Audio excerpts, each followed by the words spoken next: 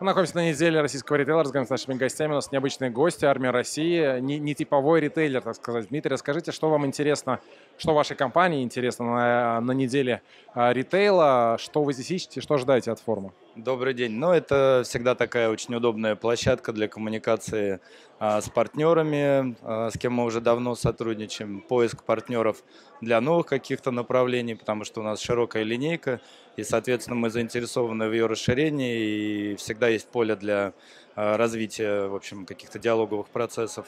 Мне лично очень нравится это мероприятие, много интересных спикеров, э, всегда для себя много чего подчеркиваю, выношу, так что всегда это эффективно, я стараюсь быть каждый день на мероприятии. Как вам в целом аудитория, которая здесь э, при, сюда приехала? Целевые ли для армии России это клиенты, контрагенты, партнеры, поставщики, может быть? А, да, здесь абсолютно целевая аудитория. Мне этим и нравится, что здесь такой своего рода фреш фреш, не, не, необычный термин. А расскажите, почему армия России, в принципе, государственная компания, большая, которая занимается немножко другим, а, пошла в ритейл, пошла делать B2C продукты, а не B2G, как обычно у вас, ну, как обычно армия России делает?